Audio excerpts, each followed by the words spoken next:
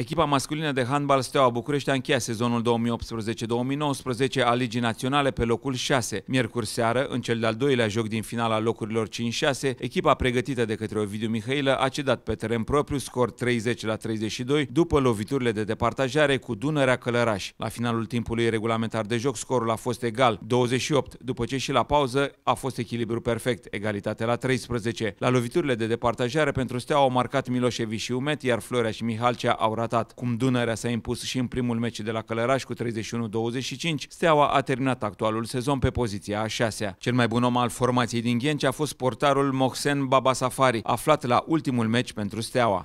Fără Steaua, îmi pare rău că am pierdut meciul pentru că a fost ultimul pentru mine aici, dar inima mea va rămâne întotdeauna la Steaua.